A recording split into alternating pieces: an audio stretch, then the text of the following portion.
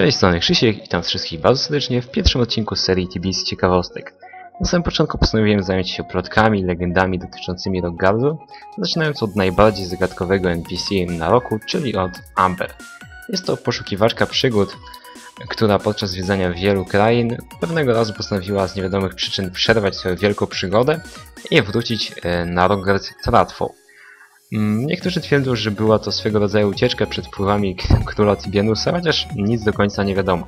Jej tratwa nadal znajduje się przy północy mm, naszego Rogardu, a na niej jej notatnik. Znajdują się tam imiona prawdopodobnie osób, które miała ona przyjemność poznać podczas swojej wielkiej przygody, jak choćby naszego dobrego Sama, który skupuje od nas przedmioty na mm, Haisie. Jednak no, nie byłoby w tym nic dziwnego, gdyby nie to, że Wśród tych wszystkich imion znajduje się imię mm, naszego legendarnego czarnoksiężnika Felbrasa. Nie wiemy jakie jest jej powiązanie z nim, no ale coś w tym musi być, wiadomo. Poza tym nasza poszukiwaczka przygód oczywiście mierzyła się z wieloma potworami jak orkami, minotaurami i smokami, no ale podczas jednej z nich została pojmana przez orki. Tam nauczyła się ich języka, mm, a podczas ucieczki um, zraniła ona jednego z orków w oczy. Podobno jest to Blind Ork, który znajduje się na Rockgardzie i sprzedaje nam różnego rodzaju przedmioty. Numer 2. Najpotężniejszą bronią dystansową na Rockgardzie nie jest Spear, tylko łuk. Co prawda nie jest on e, możliwy do zdobycia z żadnego moba czy też z questa, ale można kupić właśnie u naszego Blind Orka, posługując się językiem orków. Numer 3. Gul na roku. Jest to drugi najpotężniejszy potwór na Rockgardzie, zaraz po Minotaur Magu. Mm, Niestety nie wiadomo jak się do niego dostać, jak wiadomo, jak widać jest zamurowany ścianą. Próbowano różnych rzeczy, jedną z nich było naśladowanie jego ruchów chyba przez ponad godzinę z tego co pamiętam, no ale jednak e, i to nie poskutkowało. Mm, Numer 4. E, pewnego razu postanowiono zrobić swego rodzaju rozrywkę na Rockstarów na test serwerach i porozpiono im e, różnego rodzaju potężne potwory e, z Mina.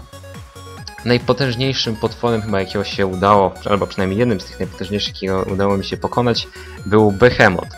Co prawda wiadomo, można się leczyć najsłabszymi podkami, a EQ Rockstara jest dość słabe, em, ale wyglądało to mniej więcej chyba tak, że ze 20 osób, jak nie więcej, leczyło mm, głównego blokera tymi małymi podkami mm, cały czas. No jakoś dawał radę on się w ten sposób wyleczyć, a reszta po prostu strzała na dystans hitami od 0 do 10, aż w końcu go zabili. Numer 5. Na Rogardzie znajduje się boss szczurów, z którego można zdobyć kostkę do gry. Numer 6. Ym, Niektórzy z Was może to wiedzą, jeśli mieli mm, powiedzmy większą sumkę na roku. Jest tu limit w banku, mm, mm, 1000 GP bodajże. Nie można go przekroczyć, co oznacza, że Rockstayerzy trzymają swój hajs albo na pobocznych postaciach, albo po prostu przy sobie. Co prawda jest to troszkę niebezpieczne, no ale wiadomo, jak już macie taki pokaźny level, to żaden mobek na Rockgardzie nie powinien być w stanie nas zabić. Numer 7. Na Rockgardzie można mieć 3 addony, 2 do Citizena i 1 do Druida. Wiadomo, te wszystkie przedmioty można pozdobywać na roku, czy te Wolfpawy, czy Bearpawy i tak dalej. No i oczywiście są NPC, którzy nam pozwolą uzyskać ten, te addony. Numer 8. Na Rockgardzie jest dość sporo questów polegających na wymianie przedmiotów. Z pewnością niektórzy z Was z nich korzystali. Ym, Jak choćby, no naj, powiedzmy najsk- najlepszą opcją jest oczywiście wymienia naszego prezentu na Legion Helmet, który później się przydaje właśnie do Citizena. Um, Honey Flower wiadomo na Studded Legii też nieźle, no powiedzmy najmniej popularnym to oczywiście wymiana banana na Studded Shield. Numer 9. Um, na Rockgardzie respi się swego rodzaju boss Minotaurów, który jest bardzo podobny do naszego Minotaur Maga, do którego nie wiadomo niestety jak się dostać. Mm, Nie daje niestety on żadnych takich przedmiotów, które pozwolą nam ulepszyć naszą postać w statystykach, powiedzmy, że będziemy więcej mieli armora czy też obrony, ale można zdobyć Magic Light One, który wiadomo jest niezłym rakiem na Rockgardzie. Mm, No i przechodzimy do numera 10, czyli mm, legendarnego Sword of Fury. No na mainie to wiadomo Spike Sword to jest po prostu nazywany. No wiadomo, każdy prawdopodobnie słyszał coś o tym legendarnym mieczu. Plotek i legend jest taka masa, że mógłbym opowiadać spokojnie przez godzinę. No ale chciałbym poruszyć tylko jedną, która ma powiedzmy jakiś w miarę kluczowy wpływ e, na zdobycie tego miecza. Mianowicie, jeśli ustawimy się w odpowiednim miejscach na roku, jest opcja, żeby nasz miecz zniknął, a raczej, żeby go po prostu przeteleportować w inne miejsce. To jest prawdopodobnie jedna część, powiedzmy, z questa, który pozwoli nam na zdobycie tego miecza. Prawdopodobnie jest on teleportowany do podziemi, a tam jakoś, kto wie, może się można do niego dostać.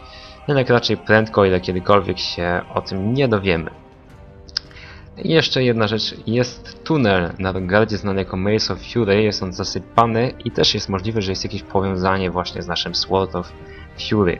Oczywiście zdaję sobie sprawę, że to nie były wszystkie te ciekawostki dotyczące Rockgardu, ale postanowiłem, że oczywiście każdy taki filmik będzie zawierał 10 ciekawostek.